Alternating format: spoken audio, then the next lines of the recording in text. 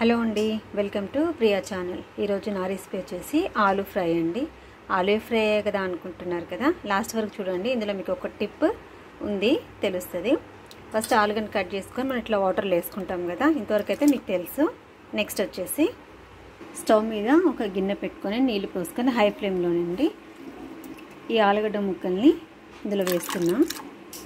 కొంచెం సాల్ట్ వేసి హై ఫ్లేమ్లో ఒక్క పొంగు వచ్చే వరకు వీటిని స్టవ్ మీద ఉంచాలి. చూసారు కండి జస్ట్ ఇట్లా నురుగొచ్చే వరకు ఒక్క మినిట్లో అయిపోతుంది. దీన్ని మనం ఇప్పుడు వడగట్టుకోవాలి.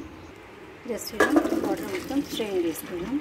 వేరే కళాయిలో ఆయిల్ వేసుకున్నాం. ఆయిల్ కొంచెం హీట్ అయ్యాక పచ్చిశనగపప్పు మిక్స్డ్ ఆవాలు జీలకర్ర ఎండుమిర్చి అండి కరివేపాకు పొటాటో స్లైసెస్ కొంచెం పసుపు. సిక్స్టీ పర్సెంట్ ఆలుగడ్డలు ఉడికాయండి. మీకు చూపిస్తే ఇందాక టిప్ అన్నాను కదా. చూడండి. కింద అసలు అడుగు అంటనే అంటలేదు. ఎలా ఉందో అలా ప్లెయిన్ ఉంది. తిప్పడానికి కూడా చాలా ఈజీగా ఉంది.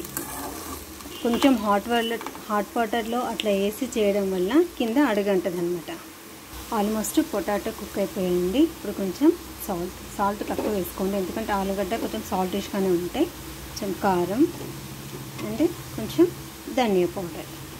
చూసారు కదా ఎంత పొడి పొడిలాడుతూ వచ్చిందో ఆలు ఫ్రై. లేదంటే కింద అంతా అడగట్టి ఇలా ఇలా మనం గీకాల్సి వస్తుంది కదా.